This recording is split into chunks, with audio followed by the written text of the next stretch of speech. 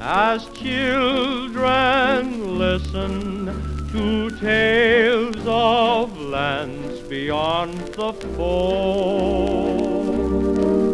And so fair winds to you.